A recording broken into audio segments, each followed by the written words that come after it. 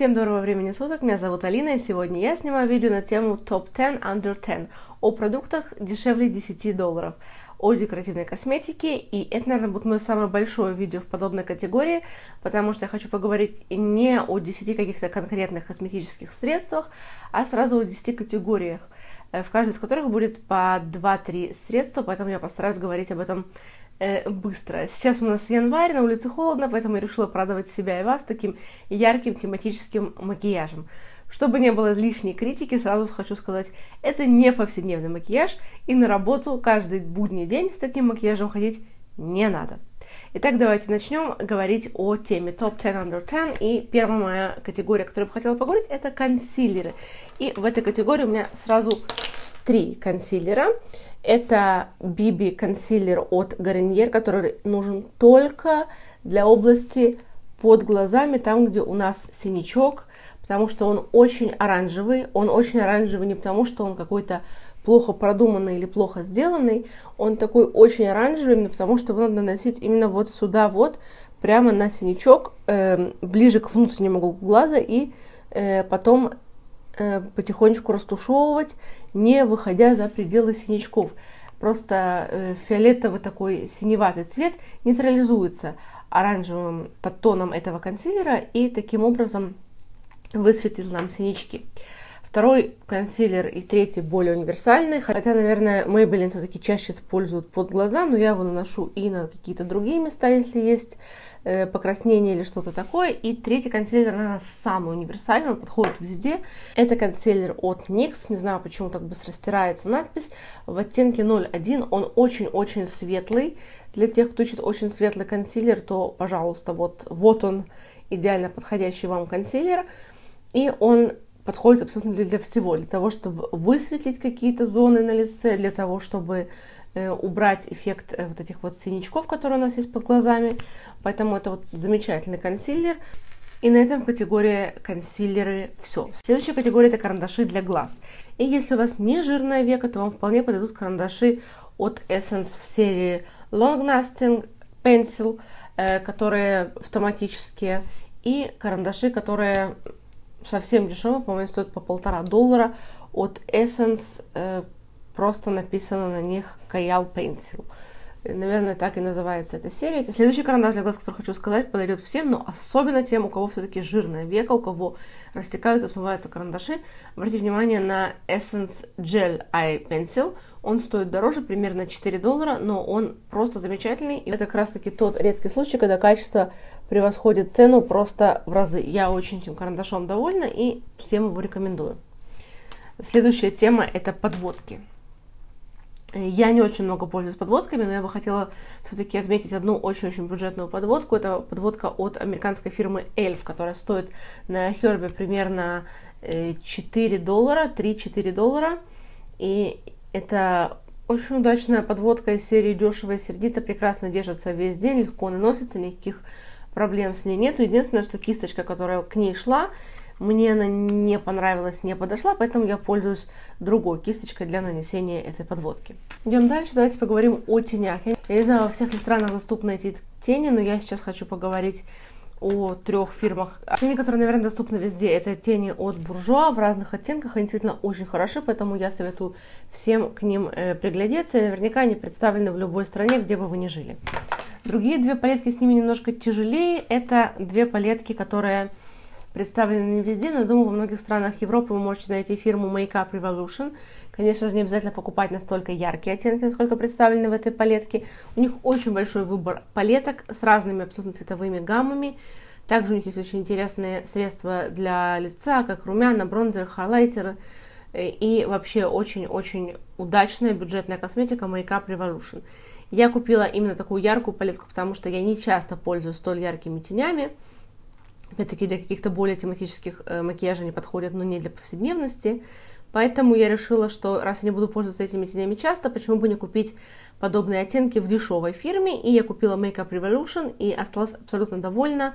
Тени не сыпятся, они хорошо держатся, они очень пигментированные, как вы можете посмотреть на меня сейчас. У меня достаточно яркий макияж, и он сделан полностью именно этой палеткой теней. И вторая фирма, которую я бы хотела подорить, я знаю, что ее, наверное, тяжелее немножко достать будет, но это немецкая косметика Альверде. Вообще очень хорошая фирма, и мне подруга подарила вот такую вот четверочку теней, и если это стоило примерно 6 евро, то это стоит столько же. Здесь 4 оттенка, это натуральная косметика. Кроме того, надо признать, что это очень ноские для меня оттенки. И это палетка от Альверде номер 50, которая называется Rose Garden. Средства для бровей. У меня сразу есть две вещи показать. Во-первых, хочу сказать, в общем, такой переходный продукт о тенях. В общем, очень неплохие тени от Пупа, и часто они стоят дешевле 10 долларов.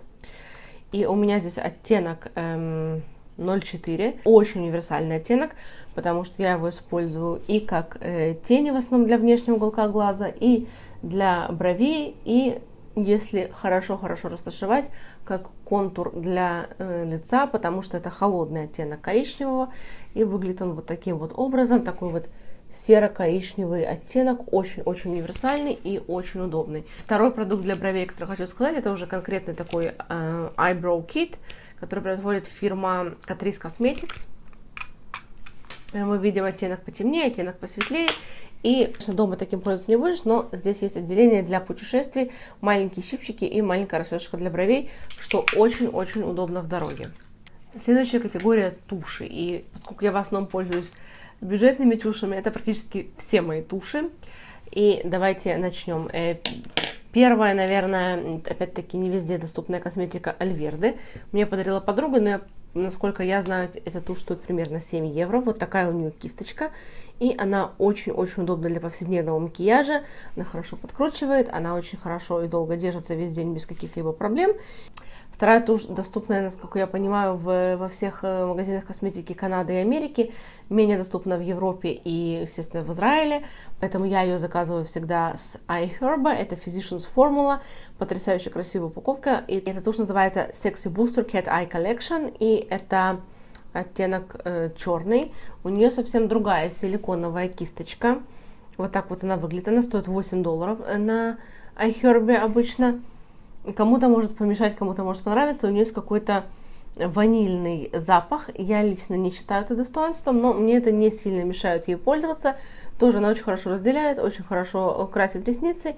И для повседневного использования на работу э, я очень ею довольна. Она как раз Э, то, что надо. И что еще мне очень нравится в ней, что если вы хотите использовать ее для вечернего макияжа, она тоже вполне поддается э, тому, чтобы наслоить ее и сделать более э, насыщенной. И третья тушь, это вообще категория тушей. Они есть в разных оттенках.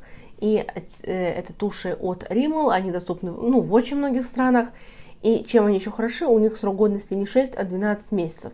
Поэтому, если вы хотите купить какую-то цветную тушь, которую вы пользуетесь редко, или наносите только на нижние ресницы, или что-то еще такое, то вот как раз идеальный вариант. Тушь, которая вам хватит на 12 месяцев и стоит, например, на 5-6 долларов, что, по-моему, прекрасно. У меня она в оттенке Electric Blue, как мы видим, очень яркий оттенок, и я иногда для каких-то макияжей с голубым акцентом прокрашиваю ею кончики нижних ресниц, это создает очень интересный эффект. И поскольку я не пользуюсь ею часто, то, что у нее срок годности целый год, это очень удобно. По поводу туши все, давайте поговорим немножко про всякие бронзеры и пудры для лица. И здесь у меня два фаворита, оба от немецкой фирмы Alverde. Первый продукт это пудра и бронзер вместе. Я немного пользуюсь компактной пудрой, поэтому для меня это очень удобно, что они не в отдельных пудреницах, а что этот продукт совмещен вместе. Тут 7 грамм продукта, очень мелкий помол, очень удачный оттенок как бронзера, так и пудры. И у меня это оттенок номер 10 Light Bronze. Следующая пудра интересна тем, что это на самом деле корректирующая пудра, имеющая три вот таких вот оттенка. Я ее использую и как тени для век на внутренний уголок глаза и э, до середины века и использую иногда как корректор, но еще очень часто я смешиваю все три пудры и использую их как такой вот очень легкий, деликатный хайлайтер, который создает такой вот высветляющий перламутровый оттенок, при этом он очень деликатный и подходит для дневного макияжа, и вы не будете светиться как елка, тебе какая-то легкая такая вот рельефность и подсвечивание э, лицу это дает. Тоже стоит она примерно 6 евро, что очень удобно, у нее оттенок один, поэтому э, нет какого-то особого названия. Э, после пудры бронзера хочу поговорить про такую новинку 2016 э, года. Это э, румяна, кремовые гелевые румяна от фирмы Essence из серии дешево и сердито. Они не слишком пигментированные, поэтому вы вряд ли переборщите и нанесете какое-то просто розовое пятно, если будете наносить их на свои щеки. Их также можно наслаивать.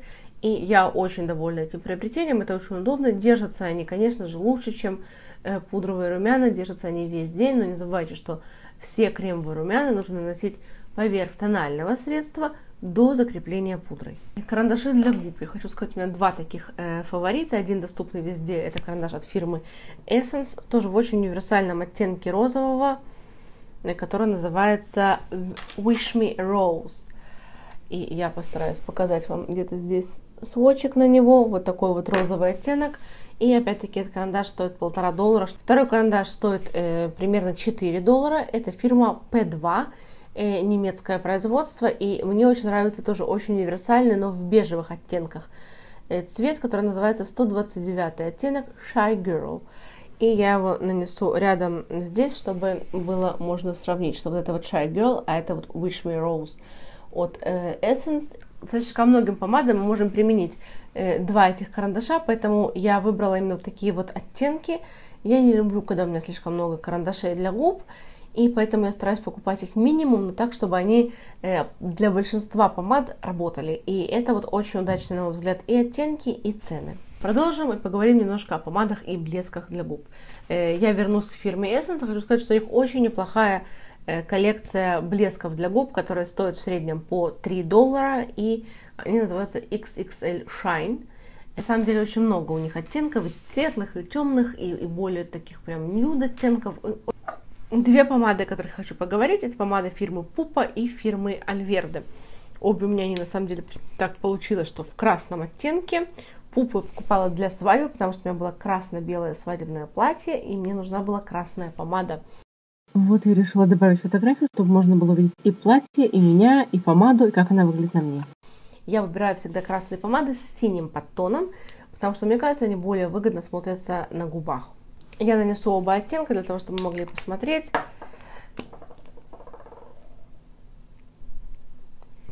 видна между ними разница. Это у нас оттенок пупа, это у нас оттенок от э, Альверде. Одна между ними разница. Интересные оба оттенка.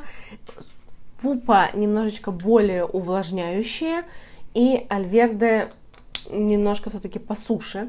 Оба хорошо держатся на губах, Альверде может быть чуть-чуть дольше. Я надеюсь в очень скором будущем снять видео об израильской декоративной косметике э, ниже 10 долларов за продукт. И я потом хотела бы снять все-таки видео и про уходовую косметику для лица и тела.